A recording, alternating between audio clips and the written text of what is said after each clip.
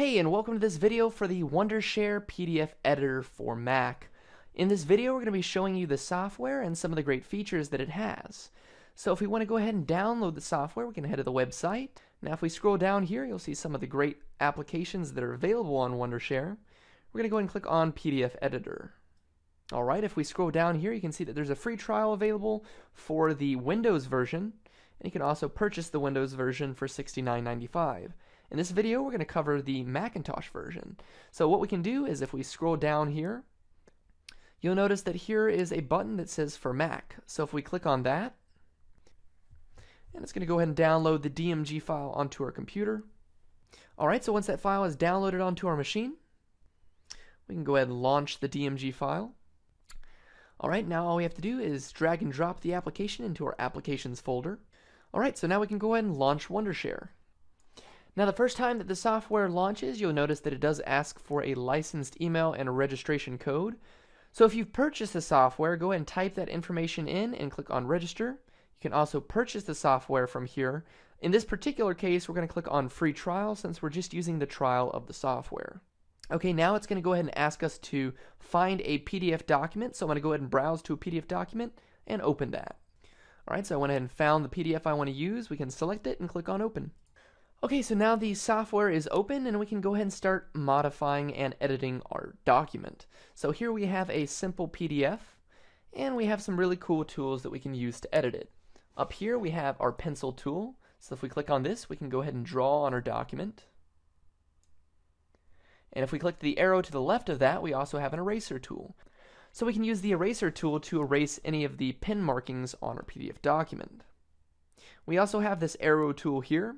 So we can use this to create arrows on our document if we'd like to put emphasis on a particular part of the document, or if we want to point to an image or text, we can use that. And if we click on the arrow next to that, we also can create boxes. And we can put boxes around our text here, or around images if we'd like. Here we have our little word bubble, and if we click on that, we can create a word bubble on our document, and we can also overlay text on this as well if we want. If we click the arrow next to that, we also have a text box we can create and links as well. Here we have some basic text editing options so we can create highlighted text, text that's underlined, or text with lines through it. Another cool thing that the Wondershare PDF editor has is the stamp feature. So there's some really cool stamps that we can use if you're a business. Uh, for businesses that want to approve documents really quickly, we have approved and not approved options, as well as some others that you can select from here. So let's say we have a document here that we want to go ahead and approve. We can go ahead and put in the approved stamp and make it nice and large. Now I've approved the document. So we have a variety of features in our menu bar here, and if we want, we can click on Customize, and here we have several more options that we can choose from. We can crop images, we can encrypt the document, merge the document. We can go ahead and split the document if we want to do that, and rotate it. So there's a variety of other different options available if we click on Customize. Another really cool thing that you can do in the PDF editor is you can convert this to a Word document. So all we have to do is go up to our Convert button here, and we can go ahead and save our changes if we want.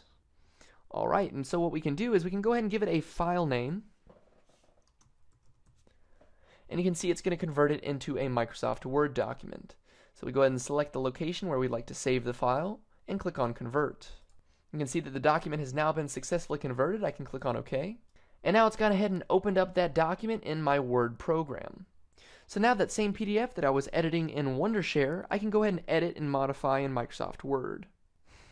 Now at any time, if we'd like to revert back to the original state of the document, if we made changes that we don't like, we can go up to File, click on Revert, select Revert, and now it clears any of the changes you've made that you don't like, or any of the changes that have been made uh, since the last time that you saved the document. Another really cool thing that we can do on the Wondershare PDF editor is we can add security to it. So if we want to create a password for our PDF document, all we have to do is go up to File, Security, and click on Security Settings.